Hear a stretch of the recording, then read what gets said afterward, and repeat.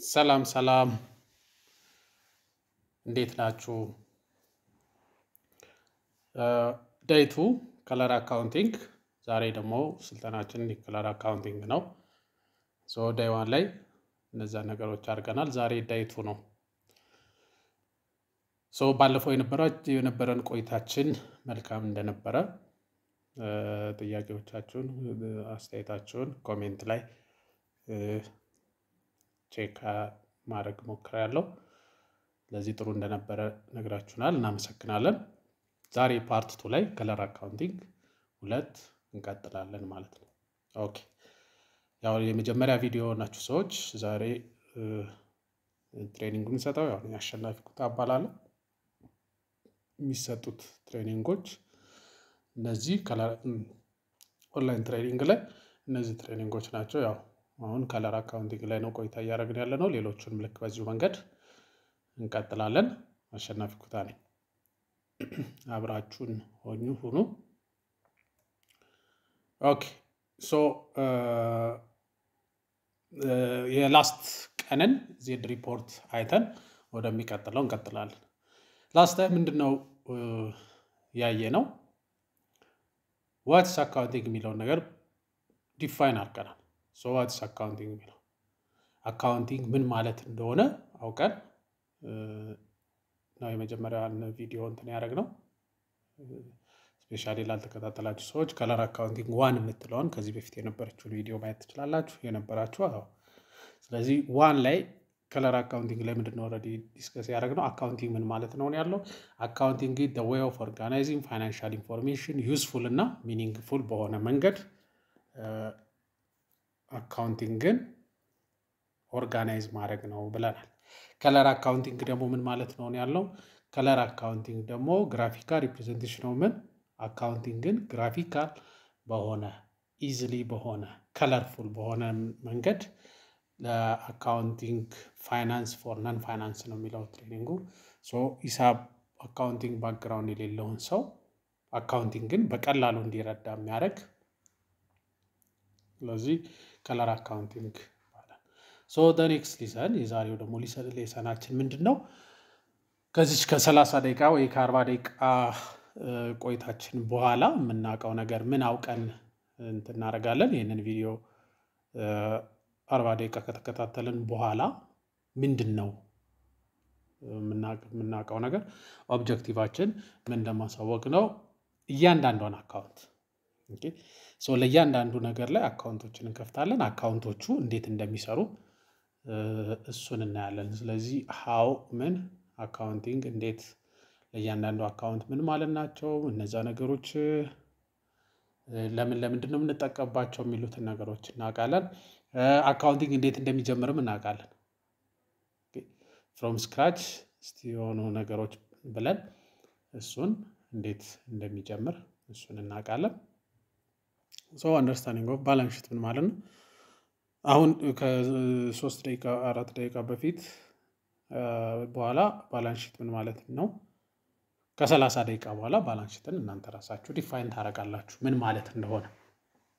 okay so let's begin። accounting ን ልክ ለምሳሌ ዛሬ takeoff ያደርጋል። ልክ ይሄ plane ከምድር ላይ ሲነሳ ምን ምን ነገር አለው? በጣም ይጮሃል፣ ጉልበት ይጠቀማል። ምን እስኪያደርግ ድረስ ከመሬት takeoff እስኪያደርግ በጣም እንትን ያደርጋል። ከዛስ ልክ ከተነሳ በኋላ ግን float ነው የሚያደርገው። ዛሬ እኛም accounting ን from scratch ልናስነሳው ስለሆነ ምን እንፈልጋለን? ዛሬ ጉልበት ያስፈልጋቸዋል፣ እንትን ያስፈልጋል። በደንብ ጊዜ እንድትሰጡት በደንብ እያንዳንዷን ነገር ላይም በላይ የዛሬን ቪዲዮ እነዚህን ሁለት ተከታታይ ቪዲዮዎችን understand ካረግን ከዛ ልክ አውሮፕላን ምንድን ነው የሚሆነው? once ሰማይ ላይ ከጠቀሙ ከሆነ በኋላ ምንድን ነው የሚያደርገው? just float ነው የሚያደርገው። በቃ float መንሳፈፍ። ይሄ ሁሉ ጉልበት፣ ይሄ ሁሉ ጩኸት፣ ይሄ ሁሉ ምናምን ነገር የለም። ስለዚህ እናንተም ልክ accounting ግን አሁን መነሻው ላይ ስለሆነ በጣም ጉልበት ያስፈልጋል ምናምን አቅማችሁን ምናምን በጣም understand ለማድረግ ልክ ከሁለተኛው ቪዲዮ በኋላ ግን accounting ን ስናወራ simple እንደ እንትን በቀላሉ understand float ታደርጋላችሁ ማለት ነው። float እናደርጋለን። ስለዚህ ከ takeoff time ስለሆነ አንዳንድ ጠጠር የሚሉ ነገሮች ካሉ ቪዲዮን ወደኋላ ወደፊት እያደረጋችሁ እያያችሁ በደንብ ለመረዳት ሞክሩ ለማለት ነው። ስለዚህ ዛሬ ብድግ እናደርጋታለን። accounting መሬት ላይ ያለው accounting skill ኣችን knowledge ኣችን ብለን ብናስብ ከሱ እንለቃለን። ዛሬ ብድግ ብለን float እንድናደርግ እንደዚህ አይነት አቋም ይኖረናል ለማለት ነው። okay so let's begin። accounting all about ምንድን ነው ብለናል? organizing ነው። organize የሚያደርገው ግን ምንድን ነው? accounting information ኦችን so እያንዳንዱን accounting information ኖች organize organize ካደረገ በኋላስ ምን ማድረግ ነው? story ውን መንገር ነው። የዛን ቢዝነስ ታሪኩን መንገር ነው። organize ለምን ያስፈልገናል? የ first ቪዲዮ ላይ እንደተነጋገርነው። organize ለምን የምናደርገው የሆነ ነገር መረጃ ለመስጠት በቀላሉ ይረዳል። ስለዚህ accounting organizing accounting accounting ን ምንድን ነው የሚለው organize ያደርጋል። organizing accounting system to story of ምን any business የድርጅቱን ታሪክ ይናገረልናል። accounting ነው። ቢዝነስ ደግሞ ማለት የትኛውንም ቢዝነስ መውሰድ ትችላላችሁ። የትኛውን business it's all about asset ሀብት ለመሰብሰብ ነው። asset የሚሰበስበው ግን ምን ለማድረግ ነው? generate ምን ለማድረግ income generate ለማድረግ income generate ለማድረግ ነው። ቢሮ የምንከራየው፣ ሰራተኛ የምንቀጥረው፣ ጠረጴዛ የምንገዛው፣ ወንበር የምንገዛው፣ ሱቅ display ምናምን የምናደርገው እነዚህን ሁሉ asset ኦች acquire የምናደርገው ምን generate ለማድረግ ነው? income ን generate ለማድረግ ድርጅቱ ገቢ እንዲያገኝ ነው እነዚህ ነገሮች። ስለዚህ business it's all about ምን asset ነው። አንድ ድርጅት ትልቅ ነው የምንለው ብዙ asset ሲኖረው ነው። አንድ ድርጅት ትልቅ ነው የምንለው ብዙ ምን ሲኖረው ነው? income ሲኖረው ነው። ስለዚህ business it's all about it's an asset to generate ምን income generate ለማድረግ ይህንን ካለን ስለዚህ ይሄ መጀመሪያ ይሄ asset generate የሚደረገው where is the source where is the source of the fund ከየት ነው ይመጣው? ካፒታል። ስለዚህ ባለ አክሲዮኖቹ ምን ያዋጣሉ? ብር ያዋጣሉ። ለምሳሌ ሶስት ባለ አክሲዮኖች ናቸው ብለን አንደኛው ባለ አክሲዮን አምስት መቶ ሺህ ብር ያዋጣል፣ ሌላኛው ባለ አክሲዮን ሁለት መቶ ሀምሳ ሺህ ብር ያዋጣል፣ ሌላኛው ባለ አክሲዮን ሁለት መቶ ሀምሳ ሺህ ብር ያዋጣል። ጠቅላላ ስንት አዋጡ እንላለን? አንድ ሚሊየን ብር አዋጥተዋል ባለ አክሲዮኖቹ። ይህን ካፒታል ያዋጡት asset acquire አድርገው income ምን ለማድረግ ነው? generate ለማድረግ ነው። ስለዚህ የተከፈለ ካፒታል ማለት ካፒታል ማለት አሁን እያንዳንዷን account ማስቀመጫ አቁማዳ ነው የሚባለው እንደዚህ አይነት ነገሮች። ስለዚህ የድርጅቱ ካፒታልን የተመለከቱ ነገሮች አንድ ቦታ ነው የሚቀመጠው። ያ ምን ይባላል? paid up capital ይባላል። የተከፈለ ምን ከድርጅቶች ባለቤት አለም ባለ አክሲዮኖች ጋር የተሰበሰበ ሲሆን ባለ አክሲዮኑ በአመቱ ትርፍ ካፒታል እናሳድግ ብለው ከወሰኑ የሚቀመጥበት ማለት ነው። ድርጅቱን ባለ አክሲዮኑም ካፒታል ቢያሳድግ ሌሎች ባለ አክሲዮኖችም ቢመጡም ቢደረግም፣ ስለዚህ ይሄ ምን ይባላል? ከ accounting አንደኛው account ምን ይባላል? ካፒታል። ስለዚህ አንድ ሚሊዮን አዋጡ ከተባለ ምን ኖረን ማለት ነው? ካፒታሉ አንድ ሚሊዮን ነው። ከዛ ምን ኖረን? ጥሬ ገንዘብ ኖረን ማለት ነው። ስለዚህ ይሄ ባንክ ይገባል cash ኡ። ስለዚህ እዚህ ጋር ምን አለ? ጥሬ ገንዘብ እነሱ ያዋጡት ብር አለ። እዚህ ጋር ደግሞ ምን አለ? ካፒታል አለ ይዘውት የመጡት። ስለዚህ ሁሌ ካፒታሉ መጀመሪያ ላይ ሲመሰረት ከዋጋ እኩል ነው። በአይነትም የሚመሰረት በጥሬ ገንዘብም ከተመሰረተ ካፒታሉ ከማጋ እኩል ይሆናል። ለምሳሌ በዚህ አንድ ሚሊዮን ብር መጥተዋል ከተባለ የአንድ ሚሊዮን ብር ባንክ ይገባል። ስለዚህ cash at bank የምንለው ደግሞ ምንድን? ማንኛውም ፋይናንስ ተቋም ላይ የተቀመጠ ምን ተቀማጭ የሆነ ገንዘብ ምንድን ነው ይባላል? it's cash at bank ይባላል። ባንክ ላይ ያለ ብር። ስለዚህ ባንክ ላይ ያለ ብር እና ይሄ እኩል ናቸው ማለት አሁን it's time of take off ብለናል። እዚህ ግራና ቀኝ ግራ በኩል ላይ ምን አለ? አለ። በቀኝ በኩል ምን አለ? ካፒታል አለ። እዚህ ጋር ደግሞ ምን አለ? equal sign አለ። so this accounting ማለት equal sign አሁን ከዚህ ይጀምራል accounting። ዝም ብለን ስናየው left እና በ left በኩል ማን አለ? አለ። በ right በኩል ማን አለ? ስለዚህ accounting ግን ብዙ ጊዜ በምን ይመሰላል? accounting is just like butterfly ይላል። ልክ እንደ butterfly ነው፣ እንደ ቢራቢሮ ነው። እቺ ቢራቢሮ ግራ ክንፍና ቀኝ ክንፍ አላት። እቺ የምትበራው ቢራቢሮ እቺ ቢራቢሮ የምትበራው የግራ ክንፏና የቀኝ ክንፏ balance ስላደረገላት ነው። ምን ማለት ነው? ይሄ አጉል አድጎ ቢንዠረገግ ይሄ ክንፍ ትልቅ ክንፍ ቢሆን ይሄ ደግሞ ትንሽ ክንፍ ቢሆን imbalance ቢያደርግ do you think butterfly ቢራቢሮዋ መብረር ትችላለች? አትችልም። ምን ስለሚያደርግ ይሄኛው በጣም ትልቅ ከሆነ balance ኧን ታጣለች። accounting is all about balancing the left and right should be ምን equal እኩል መሆን አለበት። ልክ እንደ butterfly ዋ accounting የሚመሰልበት ምክንያት ያ ነው። ይሄ ግራና ቀኝ ክንፏ balance እንዲያደርግላት ሰው accounting ም work እንዲያደርግ እንዲሰራ accounting እንዲሰራ ልክ እንደዚች እንደ እንትኗ እንዲንቀሳቀስ ማንና ማን balance ማድረግ አለብን? ከየት እንጀምራለን? አሁን ከዚች ጋር balance ማድረግ እንጀምራለን። cash እኩል ይሆናል ከምን ጋር? ከካፒታል ጋር። ስለዚህ cash ኡ ስንት ነው? አንድ ሚሊዮን ነው። ካፒታሉም ስንት ነው? ስለዚህ ግራና ቀኙ እኩል ሆኗል። yes now accounting continue ማድረግ ይችላል ማለት መብረር ይችላል፣ መቀጠል ይችላል፣ take off ማድረግ ይችላል። ከበረረ ወደ ላይም ካለ መንቀሳቀስ ይችላል ማለት ነው። ስለዚህ always be aware of this fact left side and right side of account always equal መሆን አለበት። ግራውና ማን ቀኙ ምን መደረግ አለበት? balance ማድረግ አለበት። ምን እንዲያደርግ ምን ማለት ነው? ስምንት መቶ ሺህ ብር cash ተዋጥቶ በአንድ ሚሊዮን ብር ካፒታል ተመሰረተ ቢባል balance ያደርጋል ወይ? አያደርግም። አንድ ሚሊዮን ተመስርቷል ከተባለ አንድ ሚሊዮን ብር ወይ በአይነት ወይ በ cash መቅረብ አለበት። ስለዚህ ማንና ማን እኩል መሆን አለባቸው?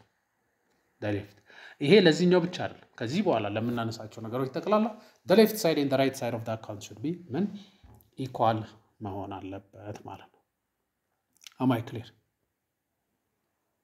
Good ሰው ግልጽ ከሆነ ግራና ቀኙ እኩል ነው በሚለው ከተስማማ throughout accounting concept always left side and right side እኩል ናቸው። እቺን fact ጊዜ ወስጄ እዚህ ጋር በደንብ discuss ማድረገው በቃ through the course ይሄኛውንም ኮርስ ጨረስን፣ ሌላም ኮርስ ይመጣል። ሌላም ትልልቅ accounting ኮርሶች ብትወስዱ always the left side and right side of account equal ይሆናሉ። ስለዚህ እሱን ከያዘን let's begin አሁን ከዚህ ከአንድ ሚሊዮን ብር ውስጥ petty cash ብለን እናስቀምጥ። ስንት እንውሰድ? አስር ሺህ ብር petty cash። petty cash ምን ማለት ነው? ድርጅቱ ቼክ የሚጽፍበት ገደብ ወስኖ ለምሳሌ ቼክ የምጽፈው ከአንድ ሺህ ብር በላይ ነው ከተባለ ከአንድ ሺህ ብር በታች ሆነውን እሺ ምን ያርግ? የሶስት መቶ ብር ወጪ ቢመጣ የመቶ ብር የአርባ ብር ቢመጣ የሰማንያ ብር ወጪ ቢመጣ ምን ያርግ? ቼክ ይጻፍ አይጻፍ? ስለዚህ ለጥቃቅን ለአነስተኛ ወጪዎች የምትቀመጥ ምን የሚባል ፈንድ ይቋቋማል? petty cash fund። ስለዚህ ከዚህ ከአንድ ሚሊዮን ብሩ ላይ አስር ሺህ ብር ከባንክ እናወጣለን። ስለዚህ ባንክ ላይ ያለው ብር ስንት ይሆናል? ዘጠኝ መቶ ዘጠና እጃችን ላይ ያለው petty cash ስንት ይሆናል? አስር ሺህ ብር። ሁለቱ ሲደመሩ ስንት ይመጣል? አንድ ሚሊዮን ብር። you see left and the right ምን አረጉ? left እና right ኡ እኩል ናቸው። so ይሄ concept throughout ዘንትን ይቀጥላል። so ዘጠኝ መቶ ዘጠና point ምንድን? አሁን petty ምን ማለት ነው? petty ማለት ማንኛውንም small amount small relative ነው እንደየድርጅቶቹ። ለአንድ ድርጅት small የሚባለው ለሌላ ትልቅ ላይሆን ይችላል። ትልልቅ ድርጅቶች small amount ነው የሚሉት። ከሀምሳ ሺህ ብር በታች ያለውን small ነው የሚሉት። ከሀምሳ ሺህ ብር በላይ ሲሆን ሊሆን ይችላል ቼክ የሚጽፉት ትልልቅ ድርጅቶች so ስለዚህ ወስነውታል ማለት ነው። petty cash ኣቸውን ከሀምሳ ሺህ ብር በታች ነው ብሎ ትንሽ ድርጅቶች ደግሞ አይ እኔ ከአምስት መቶ ብር በታች ከ petty cash ይጠቀማለሁ ከአምስት መቶ ብር በላይ ደግሞ በቼክ እጽፋለሁ ካለ ምን ይኖረዋል? የሆነ ገደብ ይኖረዋል ማለት ነው። ስለዚህ ለጥቃቅን ወጪዎች የምናስቀምጠውን ባንክ ላይ እንዳለ ብር ሳይሆን የምንቆጥረው ምን ብለን እናስቀምጣለን? አሁን account ኦችን እየተማርን ስለሆነ petty cash የሚባል account ማለት እሱ ነው። ሌላው ሶስተኛ account ተገዝቶ የሚሸጡ እቃዎች፣ ለምሳሌ ጀነሬተር ገዛ ድርጅት አራት ጀነሬተር ወይም ሶስት ጀነሬተር ገዛ። እያንዳንዱ ጀነሬተር የሚሸጠው ሀምሳ ሀምሳ ሺህ ብር ጠቅላላው ስንት ይመጣል ማለት ነው? መቶ ሀምሳ ሺህ ብር ከባንክ ላይ ስንት ብር ይወጣል? መቶ ሀምሳ ሺህ ብር ይወጣል። ባንክ ላይ ስንት ቀረን? ስምንት መቶ አርባ ሺህ ብር። ሶስት ስንት ጀነሬተር አሉን የሚሸጥ ማለት ነው? ሶስት ጀነሬተር። so ማንኛውም ተገዝተው የሚሸጡ እቃዎች ደግሞ የሚቀመጡበት account ምን ይባላሉ? merchandise inventory። ለሽያጭ የሚቀርቡ እቃዎች merchandise inventory ይባላሉ። ለምሳሌ ሱፐርማርኬት ውስጥ ያሉት እነዚያ በጠቅላላ እቃዎች ምንድነው የሚባሉት? merchandise inventory ነው የሚባሉት። ምን የሚሆኑ ናቸው? ተገዝተው ምን የሚሆኑ ስለሆነ የሚጠቀሙበት። ፈርኒቸር የሚሸጥ ድርጅት ፈርኒቸሮቹ ምንድን ናቸው? merchandise inventory ናቸው። መኪና የሚሸጡ ድርጅቶች ምንድን ናቸው? መኪኖቻቸው merchandise inventory። ስለዚህ merchandise inventory ማለት any ተገዝቶ any sale value ያለው ነገር ተገዝቶ የሚሸጥ ነገር። ስለዚህ እሱም ለብቻ organize ይደረጋል ማለት merchandise inventory። ሌላ ቋሚ ንብረት ይባላል። ቋሚ ንብረት ለድርጅቱ ቋሚ ንብረት የሚባለው አሁን እዚህ target ብናደርገው ለ tax purpose ነው ብለን assume ስለምናደርግ purpose ኡ financial statement የሚዘጋጅበት purpose ለተለያየ purpose ስላለው ነው። so ይሄኛውን ለ tax purpose የምናዘጋጅ ከሆነ የታክስ ሕጋችንን ማየት አለብን። ምንድን ነው የሚለው የታክስ ሕግ ነው። የታክስ ሕጉ የሚለው ምን ይላል? fixed asset ነው ብለህ የምትመዘግበው የምትነካው መሆን አለበት፣ የሚዳሰስ መሆን አለበት። አንድ requirement አንድ ነው እንጂ ሁሉም requirement ኡ አይደለም። ሁሉም የሚዳሰስ ነገር fixed asset ነው ማለት አለ። እስክሪብቶ ዳስሰዋለሁ፣ ካልኩሌተር ዳስሰዋለሁ፣ ግን fixed asset አይደለም። አንዱን ያሟላል እንጂ አንዱን ያሟላል። ምን መሆን አለበት? መዳሰስ። ከተዳሰሰስ በኋላ ከአንድ ዓመት በላይ ሊቆይ ይገባል። ከአንድ ዓመት በላይ መቆየቱና መዳሰሱ ደግሞ fixed asset አያስብለው። ዋጋው ከስንት ብር በላይ መሆን አለበት? ከሁለት ሺህ ብር በላይ የአንድ የነጠላ ዋጋው የነጠላውን ያለው የ group ኡ አይደለም። የአንዱ የነጠላ ዋጋ ከሁለት ሺህ ብር በላይ ከሆነ fixed asset ነው ብለን እንመዘግበዋለን። ቋሚ ንብረት ነው ብለን እንመዘግበዋለን። ስለዚህ fixed asset ኦች ማለት ቋሚ ንብረት ነው ማለት ዋጋቸው ከሁለት ሺህ ብር በላይ የሆነ የሚነኩ ከአንድ ዓመት በላይ የሚቆዩ ከሆኑ ምን account ውስጥ እናስቀምጣቸዋለን? ቋሚ ንብረት ብለን fixed asset ውስጥ እናስቀምጣቸዋለን። ስለዚህ የተለያዩ fixed asset ኦች ይኖሩናል። አንደኛው ፈርኒቸር ነው። ስለዚህ ፈርኒቸር ገዛን ብንል በአርባ ሺህ ብር ፈርኒቸር ገዝቷል ድርጅቱ ከተባለ cash ኡ ይቀንሳል። ፈርኒቸሩ አርባ ሺህ ብር ይሆናል። ኮምፒውተር ገዛን ከተባለ ስንት ኮምፒውተር ገዛን? ስድስት ኮምፒውተር ገዝተናል። ስንት ነው ኮምፒውተሩ? የአንዱ ዋጋ አስር ሺህ ብር፣ ስልሳ ሺህ ብር። ስለዚህ again ከ cash ኡ ከባንክ ላይ ሄደን እናወጣለን። ስንት ይሆናል ኮምፒውተሩ? ስልሳ ሺህ ብር ይሆናል ማለት ነው። ኮምፒውተር ገዛን። ሌላስ ድርጅቱ መኪና ያስፈልገዋል ተብሎ ተወሰነ። ድርጅቱ ስንት ብር ይሆናል? ሶስት መቶ ሺህ ብር ሶስት መቶ ሺህ ብር መኪና ገዛ።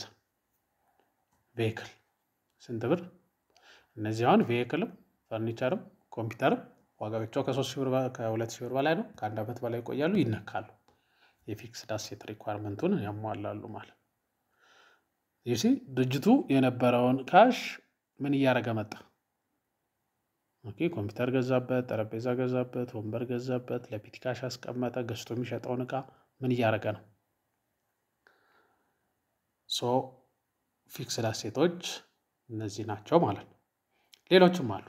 አሁን ጥቀሱልኝ ብል building machinery ምናምን ብለን list of property and equipment በሚለው መዘርዘር ይቻላል። some of them ግን እነዚህ ናቸው። ሌላ ከዚህ ብር ላይ ሰራተኛው ብድር አበድሩኝ ቢልስ ምን account ውስጥ እናስቀምጠው? ሰራተኛ ለሶስት ወር የምከፍለው ለሁለት ወር የምከፍለው ብሎ አበድሩኝ ብሎ አስር ሺህ ብር አበድሩኝ ካለ እናበድረዋለን። ወር ሀያ ሺህ ብር አበድሩኝ ካለ ስለዚህ ይጽፋል። ከደሞዙ ላይ እየቆረጥን ሀያ ሺህ ብር ልንሰጠው እንችላለን። ያንን ስንሰበስብ ስንሰጠው መጀመሪያ ምን ላይ እናስቀምጣለን? ምን የሚባል account እንከፍታለን? debtors staff። debtors staff ማለት ለሰራተኛው የሚሰጥ ብድር ነው። በአጭር ጊዜ ውስጥ የሚከፍለው ነው። ስለዚህ ምን ላይ ይቀመጣል? debtors staff የሚል balance ላይ እዛ ላይ ይቀመጣል ማለት ነው። clear alright። so ይሄንን ካረግን ሰራተኛው ሲከፍል ሲመልስልን ያቺ ብር እየተቀነሰች ወደ ባንክ ይገባል ማለት ነው። ስለዚህ አሁን ግን ከባንክ ላይ አውጥተን ስለዚህ any ከሰለ ሰራተኛ የምንሰጣቸውን ብድሮች እዛ ላይ እናስቀምጣለን። ማስቀመጫው ምንድን ነው? debtor staff። accounting ምን ማለት ነው አለን last accounting way of organizing financial information useful እና ምን meaningful በሆነ ዩሲ way of organize እያደረግን ነው።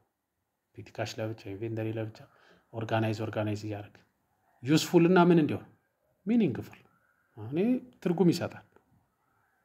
ሁሉንም ነገር ሀብት ብሎ ጨምቆ ከማስቀመጥ ሀብቱን ዘርዘር አድርጎ ይሄን ያህል cash አለን፣ ይሄን ያህል petty cash አለን፣ ይሄን ያህል inventory አለን፣ ይሄን ያህል ፈርኒቸር አለን ብለን ስለዚህ accounting the way of organizing financial information ነው ይላል። ምን debtors staff። የሚቀጥለው account ደግሞ owner ኡ የድርጅቱ owner ም ምን ሊጠይቀን ይችላል? ብድር ሊጠይቅ ይችላል። ሁለት መቶ ብር አበድሩኝ ቢል እንሰጠዋለን። ወር መቶ ሺህ ብር ደብዳቤ ጽፎ ያመጣል፣ እንሰጠዋለን። ስለዚህ ያህል ለባለቤቱ የሚሰጥ ብድር ለብቻው ነው። ሰራተኛ ከተሰጠው ብድር ጋር አናስቀምጠው። ለእሱ ደግሞ ብቻውን owners ምን የሚባል receivable። ስለዚህ legal document አምጥቶ ከድርጅቱ ጋር መቼ እንደሚከፍል ምናምን አድርጎ ስለዚህ owner ኡ ብር ቢፈልግ አለብህ እያልነው እንሰጣለን። አለብህ የምንለው account ደግሞ ምን ብለን እናስቀምጥለታለን? owners receivable የሚባል ስለዚህ የድርጅቱ የራሱ ቢሆንም ምን የሚባል አለ? business entity concept የሚባል አለ። personal property ው እና የድርጅቱ property ው ምን መሆን አለበት? መለያየት አለበት።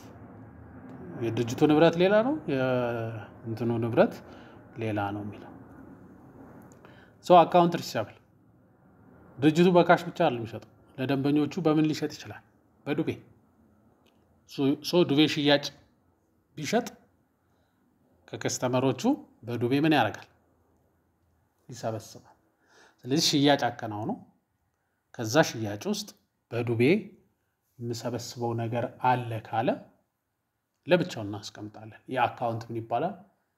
account receivable። ለምሳሌ የቅድሙን ጀነሬተር ሀምሳ ሺህ ብር ነው ያለውን በስልሳ ሺህ ብር ብንሸጠው እኛ ግን customer ኡ በዱቤ ሽጡልኝ ካለ ዱቤ ሽያጭ የሚቀመጥበት account ምን ብለን እናስቀምጣለን?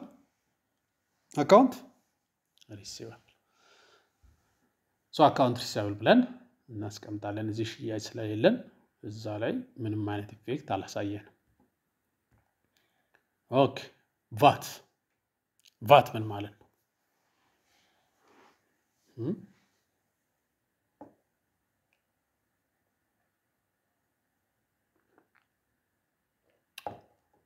Okay ቫት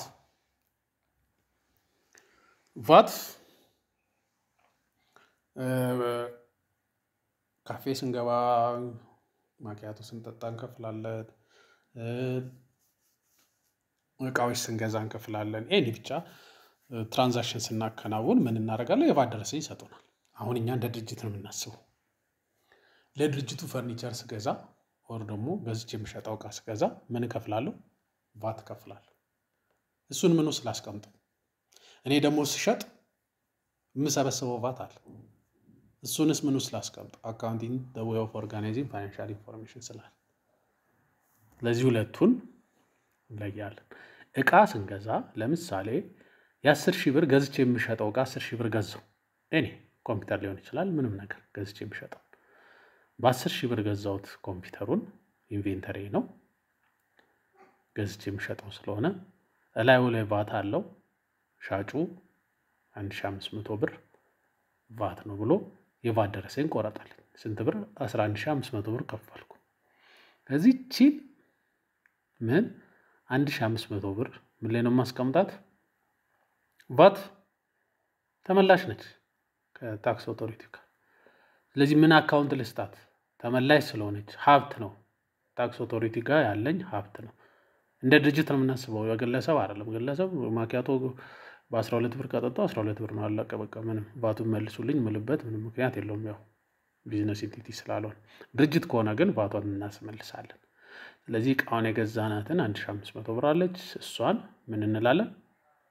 ቫት ተመላሽ ብለን እናስቀምጣለን። እኔ ደግሞ ሻጭ ነኝ። ስሸጥ አስር ሺህ ብር ነው የገዛሁት። የእኔ ደግሞ ሁለት ሺህ ብር ትርፍ አለኝ profit። Selling price ደግሞ አስራ ሁለት ሺህ ብር ሆነ። እኔ ደግሞ ሻጭ ስለሆንኩ አስራ አምስት percent ደምሬ መሸጥ አለብኝ ለደንበኛዬ። አንድ ሺህ ስምንት መቶ ብር ቫት እጨምርበታለሁ። ጠቅላላ በስንት አስራ ሶስት ሺህ ስምንት መቶ ስለዚህ ከአሻት ባንክ ብር የምቀበለው ስንት ይሆናል? አስራ ሶስት ስምንት ይሆናል። ሽያጭ ስንት ይሆናል? የዜሮ ማዕት ይቅርታ፣ እዚህ ጋር አንድ ዜሮ በስህተት ገብታ ነው። አስራ ሁለት ሺህ ሴልሱ ስንት ሆነ? አስራ ሁለት ሺህ So ቫት payable ስንት ሆነ? አንድ ሺህ ስምንት መቶ ጠቅላላ ስንት ይሆናል? አስራ ሶስት ሺህ ስምንት መቶ ብዬ ስለዚህ አሁን concept ስሸጥ የሰበሰብኩት ቫት እዳ ነው ለኔ it's liability። ስለዚህ የኔ አይደለም የ tax authority ው ነው በደረሰኝ የተቀበልኩት ቫት ነው። ስለዚህ ምን እለዋለሁ? ቫት payable payable ነው ለ tax authority ምከፍል። እዚህ ደግሞ ምን አለኝ? ቫት receipt የሰበሰብኩትን ቫት ጠቅላላ አልከፍልም። ምን አደርጋለሁ? በወሩ መጨረሻ ላይ ስንት ብር ነው ቫት በግዢ or በአገልግሎት ስከፍል ያመጣሁት ቫት so እዚች ዕቃ ላይ ስገዛ መቶ አንድ ሺህ አምስት መቶ ብር ቫት ከፍያለሁ። እኔ ደግሞ ቫት የሰበሰብኩት ስንት ነው? አንድ ሺህ ስምንት መቶ ነው። ስለዚህ ለ tax authority የሚገባው ስንት ነው? ሶስት መቶ ነው። የቄሳርን ለቄሳር እንደሚለው ማለት ነው። So ልዩነት ነው የምከፍለው ቫት የዚህን ለማን ከዚህ ልዩነት አድርጌ so እኔ የከፈልኩት ቫት ከሰበሰብኩት ቫት ካነሰ ግን እሱ አይከፍለኝም። ለሚቀጥለው ወር ያዞርልኛል። ምን በሚል ተመላሽ በሚል ያዞርልናል ማለት ነው። ስለዚህ ቫት ይሄንን ስለዚህ what point አሁን account እየተማርን ነው። ከግዢ or ከአገልግሎት የሚመጡ ቫቶች ጠቅላላ የሚቀመጡበት account ምንድን ነው ስማቸው? ቫት receivable። ከሽያጭ የሚመጣ ቫት ደግሞ ምን ውስጥ ይቀመጣል? እዳ ስለሆነ ቫት payable። ከዛ left ና right ነው። የሰበሰብኩት ከበዛብኝ እከፍላለሁ፣ የከፈልኩት ከበዛ ደግሞ ለሚቀጥለው ይዞራል ማለት ነው። ስለዚህ ይቺ ምን account ይባላል? ቫት receivable ይባላል። ስለዚህ ቫት ተመላሽ ነው፣ በሽያጭ ጊዜ የሚመጣ ተመላሽ ነው ይለናል። እዚህ ይኸው እቃዋን ገዛዋት ቫቷ ስንት ነች አለን? አንድ ሺህ አምስት መቶ ብር ነው። እዚህ የገዛሁትን እቃ መቶ ሀምሳ ሺህ ብር ነበር እንትኔ inventory በስንት ሸጥኩት? እንትን በስንት አስር ሺህ ብር ሌላ inventory ስለገዛው መቶ ሀምሳ ሺህ ብር ነው ማለት am I clear ቫት ትልቅ concept ነው። So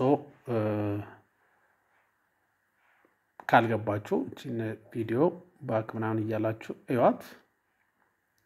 ይህኒ ደግሞ clear የምናደርገው ነገር ካለ ያልገባችሁ ነገር ካለ comment section ላይ ታች ላይ comment ላይ comment ኣችሁን ስጡ። እዛ የሚቀጥለውን ቪዲዮ ስንሰራ ያው እዚህ ቪዲዮ ላይ ያሉትን comment ኦች ጠቅላላ በሚቀጥለው ቪዲዮ ላይ እናብራራዋለን። Clear አሁን but okay፣ ግልጽ ካልሆነ መጠየቅ ትችላላችሁ። ሌላ ወደ ዕዳ ልንመጣ ነው። ሰው ድርጅቱ አምስት መቶ ሺህ ብር ከባንክ ሊበደር ነው ተባለ። ስለዚህ አምስት መቶ ሺህ ብር የት ይገባል? ባንክ account ኣችን ውስጥ ገባ። ስለዚህ ምናችን ይጨምራል? ባንክ ላይ ያለን አይጨምርም? ሶስት መቶ ምናምን ሺህ ነበረ። ስንት ሆነ አሁን? ስምንት መቶ ሺህ። ስለዚህ ዕዳዬ ግን ስንት አለ? አሁን እዚች ጋር አንድ ነገር ልናወራ ነው። እነዚህ tangible አይደሉም። ባንክ ላይ ስትበደሩ አምስት መቶ ሺህ ብር አለኝ ስትሉ it's legal concept አለብኝ የሚል ነው እንጂ ይሄ አለብኝ ከባንክ ላይ ስንት ብር አለብኝ? አምስት መቶ ሺህ አለብኝ እንላለን። ውል ነው። It's legal frame። ካፒታል አለ ስንል it's legal concept ነው። ባለ አክሲዮኖቹ ይህን ያህል አላቸው። እነዚህ ግን የሚነኩ ናቸው። እነዚህ tangible የሚዳሰሱ ናቸው። የገዛናቸው። ጠረጴዛ፣ ወንበርም፣ እቃውንም ምናምን እዛ ላይ ያሉት ነገሮች ጠቅላላ እነዚህ ግን አይዳሰሱ። Legal ምንድን ናቸው? concept ናቸው። ስለዚህ ዕዳ አንድ ሚሊዮን እኛ ይዘነው የመጣነው ነው። አምስት መቶ ሺህ ደግሞ የተበደርነው ነው። እነዚህ ሁሉ ሀብቶች የተገኙት source of fund ኣቸው ማን ነው? ከምንና ምን ከካፒታልና ከዚህ ነው ማለት ነው። ስለዚህ ባንክ ማለት ለባንክ የሚበደር ብድር ማለት Liability ነው ይላል። So ቅድም ምን አለን? እዚች ጋር ምን አለን? ስንሸጥ ደግሞ አንድ ስምንት መቶ ብር ምን አረገን አለን? Liability ነው አይደል? ዕዳ ለ tax authority የምንከፍለው። ስለዚህ እዚህ ውስጥ አልጨምረውም። ሁለቱም የተለያየ account ኦች ነው። ይሄንን asset part ላይ ያሳየዋለሁ። ይሄ ደግሞ ምን ላይ ነው? ዕዳ ነው። ይሄ ዕዳ ነው። ይሄ liability ነው፣ እንትን ሀብት ነው። ስለዚህ VAT receivable ን asset ላይ ካሳየው VAT payable ደግሞ ምን ላይ ይቀመጣል? ተጨማሪ እሴት ታክስ። ስለዚህ VAT payable ማለት ምን ማለት ነው? ከማንኛውም ሽያጭ ላይ አገልግሎትም ልሽጥ እቃም ልሽጥ ምን እሰበስባለሁ? ቫት እሰበስባለሁ። ያ የሰበሰብኩት ቫት ማስቀመጫ የት ነው? VAT payable ብዬ አስቀምጠዋለሁ።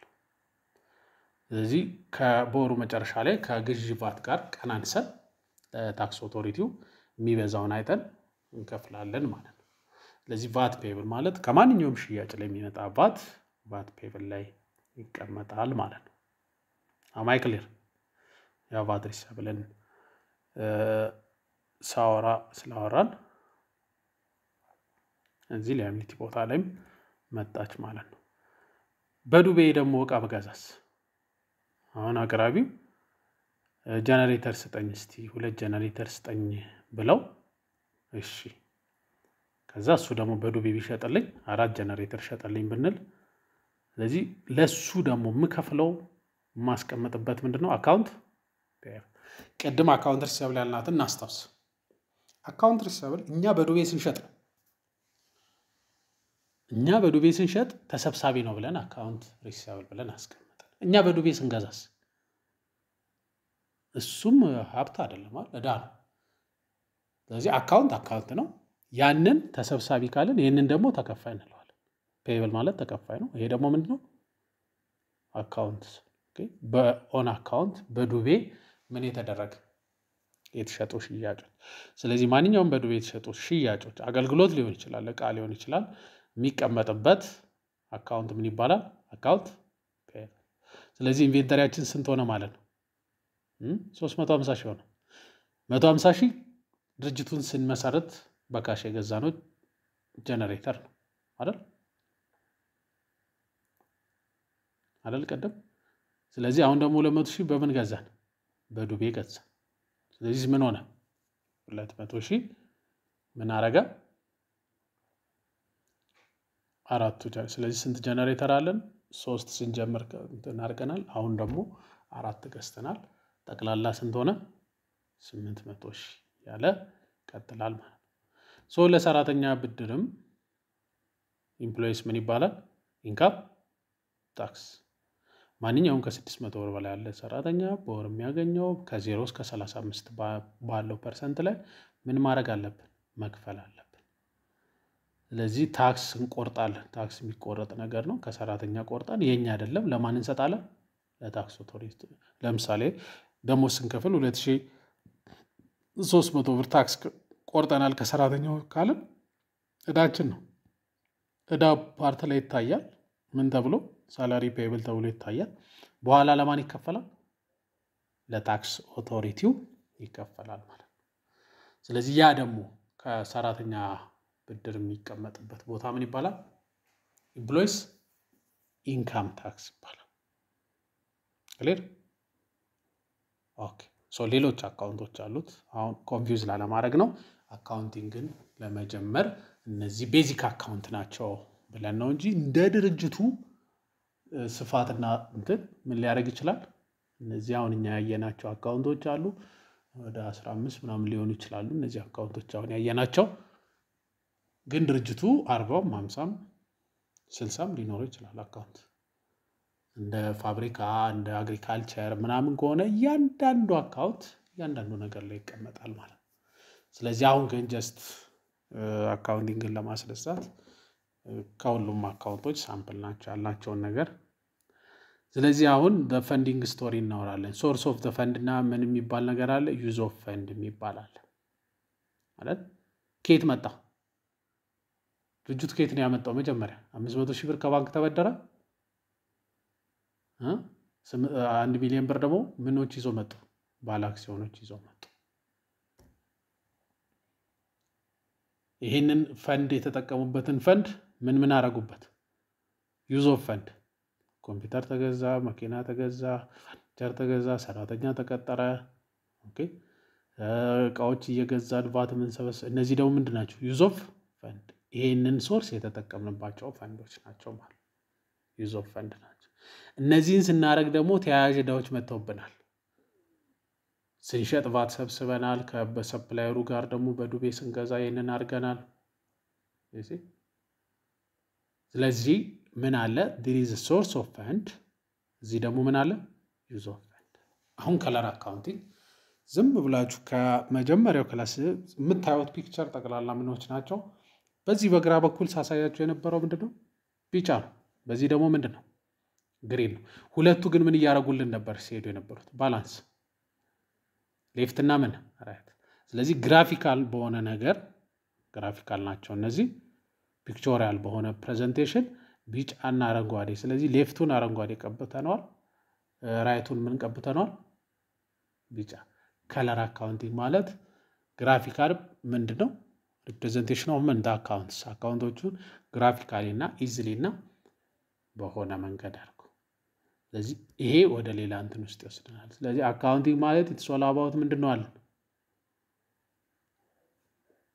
like butterfly ነው ምናምን።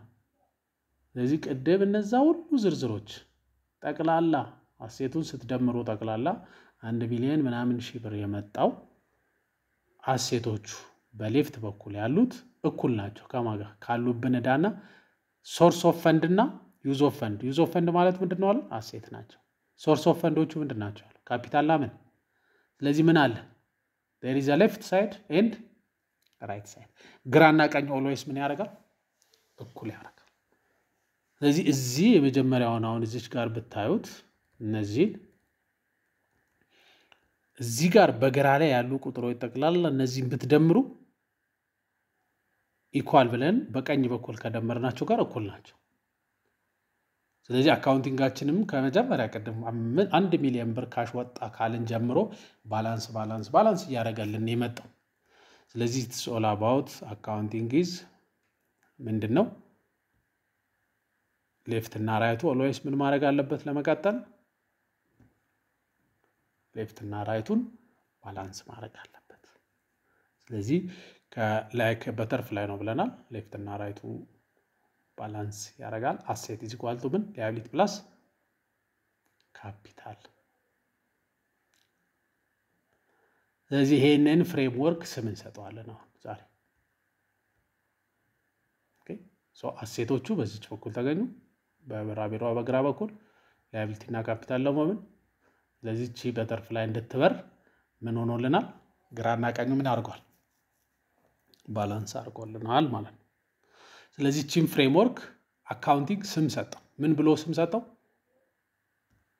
በግራ በቀኝ ያሉትን እነዚህ balance sheet balance sheet ማለት በአማርኛ የሀብትና ዕዳ መግለጫ ማለት ነው። ይሄ ሀብት ነው፣ ይሄ ዕዳ ነው፣ መግለጫ accounting way of organizing financial information። ስለዚህ በግራ ያሉትን asset አረንጓዴ ያደረግናቸው፣ በቀኝ ያሉትን liability እና ካፒታል ደግሞ ምን አደረገን? በቢጫ አድርገን way of ምን organizing financial information meaningful ነው፣ useful ይጠቅማል። ምን ያህል asset አለኝ፣ ምን ያህል ሀብት አለኝ ምናምን። ስለዚህ እነዚህን በ graph በ picture የነበሩትን ወደ ታች ብንጽፋቸው asset ማለት use of this asset to generate income ነው። እነዚህን ሀብቶች ያፈራ ነው ምን ለማግኘት ነው? ገቢ ለማግኘት ነው። ስለዚህ liability እና ካፒታል ደግሞ ምንድን ናቸዋል? both are not money ብር አይደለም። አምስት መቶ ሺህ ብር አለብኝ ስንል it's legal concept ነው። it's not tangible it's legal concept but they're quantified by ምን በገንዘብ ግን ይተመናል።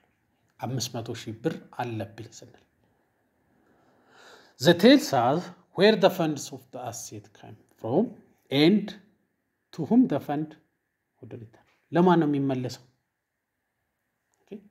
ለ tax authority ለምሳሌ ቅድም ለባንክ አምስት መቶ ሺህ ብር ከገባን quantified አድርገን አምስት መቶ ሺህ ብር አለብን አለን።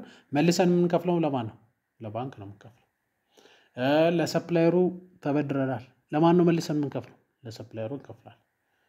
በአመቱ መጨረሻ tax ምናምን ከከፈለን በኋላ ለማን እንከፍለዋለን? ለባለ አክሲዮኑ እንከፍለዋለን በ dividend መልክ። ስለዚህ ካፒታል ነው ማለት ነው። ትርፉም balance ኡ የሚቀመጠው ይሄን ይመስላል። ስለዚህ at beginning of the training ላይ አሁን ከ ቪዲዮውን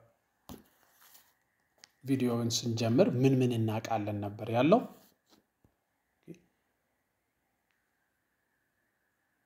እያንዳንዱ account ምን ማለት እንደሆነ እናውቃለን አለን።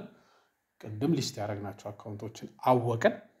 ሌላስ balance sheet ምን ማለት ነው የሚለውን define እናደርጋለን አለን። ያው balance sheet ማለት ምንድን ነው? የድርጅቱን ሀብትና ዕዳ መግለጫ ነው። ለዛሬ እዚህ ጋር እናበቃለን። የሚቀጥለው lesson ላይ የዚህና ሌላ ደግሞ framework አለ። debit ምን ማለት ነው፣ credit ምን ማለት ነው፣ income statement ምናምን የሚባለውን ነገር ደግሞ እዛ ላይ እነሱን discuss እናደርጋለን። ለዛሬ እዚህ ላይ ይበቃናል። ሰላምና ጤና ለዓለማችን ከ virtual ሰላም